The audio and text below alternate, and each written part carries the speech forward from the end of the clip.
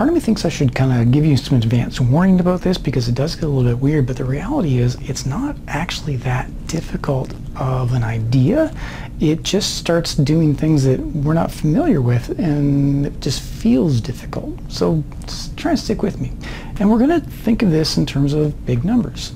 So when I talk about the mole, right away you probably already have a couple things imagined, and I can guarantee you the things you're imagining, well I shouldn't say guarantee, but I'm pretty sure the things that you're imagining when you hear see the word mole is not at all what we're talking about. And this is not a mole, this is the, the, the gentleman that whose work we can uh, point to for this understanding of the mole. Do we need to know about him? No, not really. Now, what I need you to, to, understand, and this is something that you are familiar with, is when we start talking about really, really large numbers, we start to flip from using the actual numbers written down, and we use words to describe them. So instead of writing all the zeros, I would just say a billion. And then we can do fractions of those things. So I can have 12.3 million, I could have 8.7 billion, and those numbers that we toss around sometimes feel very familiar to us. Here's the thing, we're going to do that.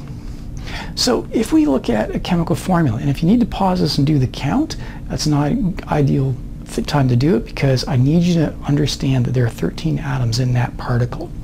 If I have several of those particles, I will have that many times 13 atoms. So for example, I pick three particles, that would give me a total of 13. 39 atoms.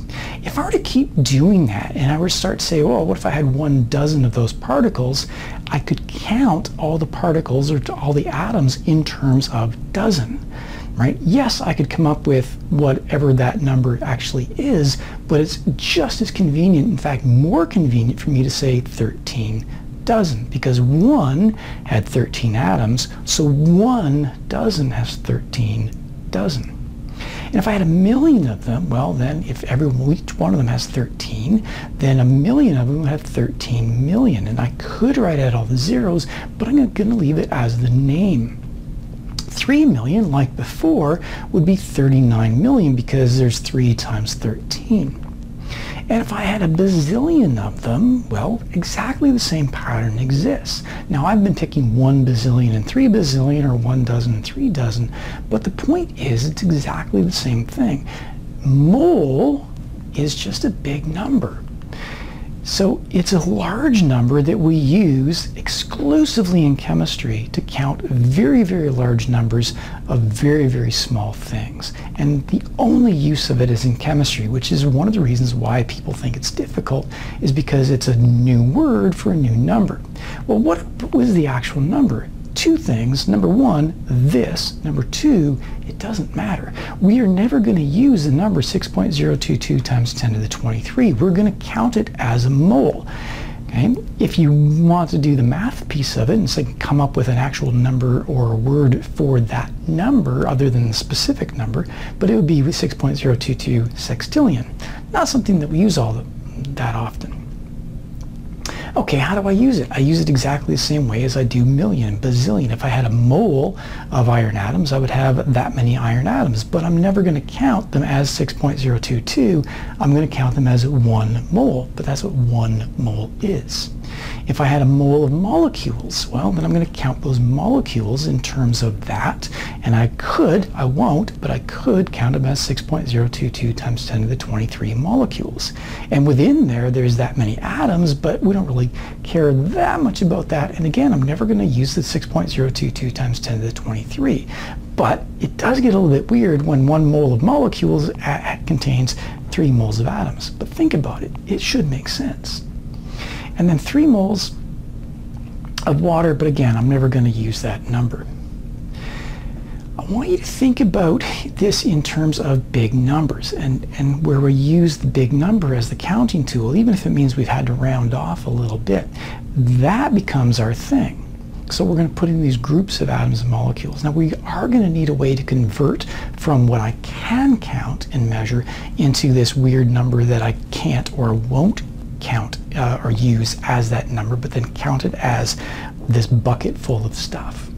Okay, I'm going to show you this. I'm not going to do the, well, I guess if you need to think fast, you can.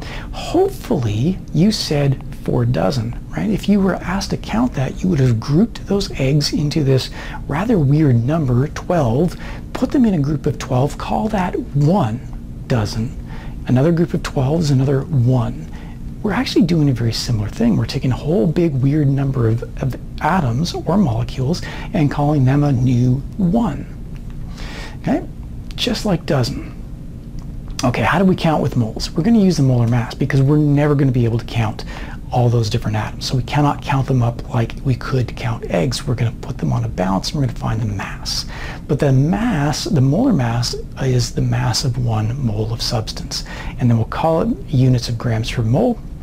And by the way, that is the proper short form for mole is MOL. Don't shorten it any more than that, even if you think you could do a more short job.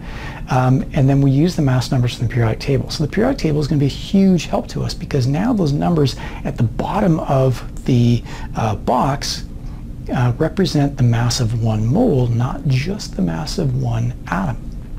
So if I were to find iron on the periodic table, it has a number of 55.845. That is the mass of one atom if I was measuring that, or it's the mass of one mole of atoms. That's the molar mass.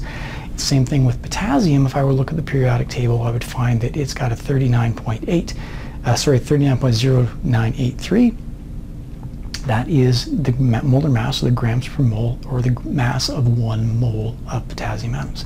And that totally works if I'm talking about molecules as well. I just put them all together and add them all up. And I don't know why things are coming in in this order, but if I look at the uh, hydrogen, carbon, and oxygen, and I look at how many atoms I have of each, I just add them all up.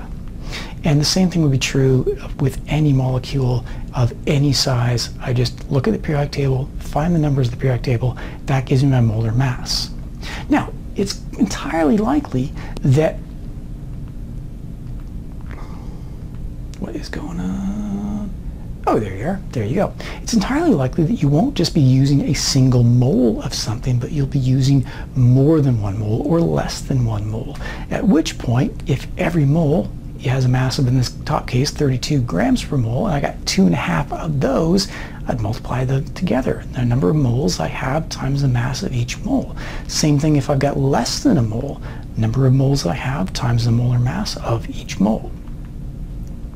And then the same is true if I have less, or if I'm trying to figure out how many moles that I have. So this formula is going to be kind of important, although we're going to put it together a little bit later. So if you don't write this one down, you will get it later. Okay, if I know the mass of something and I don't know the number of moles that I have, I'm going to use the molar mass again. Number of moles will be the total mass divided by the mass of each one. So total mass in the case of, of this one is 35.7 grams. Each mole has a mass of 120.3, which I found using the molar mass, and the numbers in the periodic table, 0.31 moles. Too easy.